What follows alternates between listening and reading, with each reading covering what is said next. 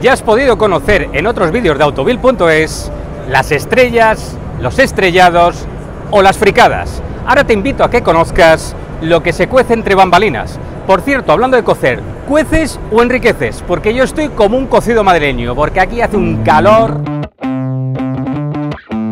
Y es que el calor reinante en el Salón de Ginebra es ya una tradición. Ahorrando en refrigeración, no me extraña que sean tan ricos.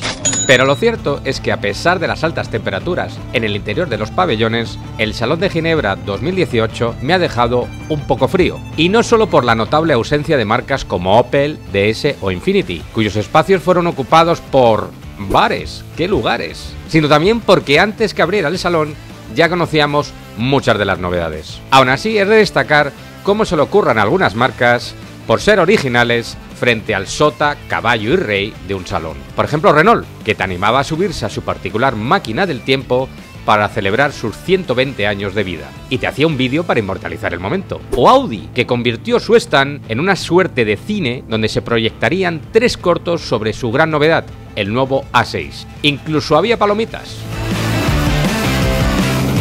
Y hablando de elementos que desafían a la ley de la gravedad, me llamó la atención que los coches voladores se están haciendo un hueco en los salones, como este Airbus. Este artefacto le habría venido de perlas a este periodista, para así no tener que recurrir a una escalera para no perderse detalle de nada. Y lo cierto es que en los stands de ciertas marcas tampoco era necesario recurrir a estas técnicas. Por ejemplo, en el stand de Peugeot, su Super León podía verse casi desde España. Lo que pensaba que ya no veríamos en el Salón de Ginebra serían chicas, después de las últimas polémicas, pero las hubo, aunque no tantas como en otras ocasiones. Y es que también los salones evolucionan. No me extrañaría que en próximas ediciones fueran robots los que presentaran las novedades, a todo ritmo. Lo que sigue siendo igual es el momento canapé. Cómo nos gusta a los periodistas y a los que no lo son. Mandamiento del pobre, reventar antes de que sobre. Incluso hay marcas, como Morgan, que deleitan a sus invitados VIP con una cata de whisky con un par. Pero hay que tener en cuenta que por la tarde, mientras los sufridos periodistas juntan letras para contarte a ti,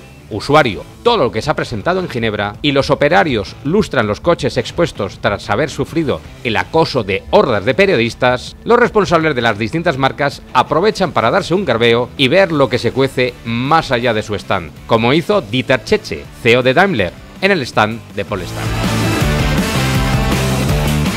Y como todo, también el Salón de Ginebra 2018 llega a su fin. Los periodistas nos vamos a la espera del siguiente salón.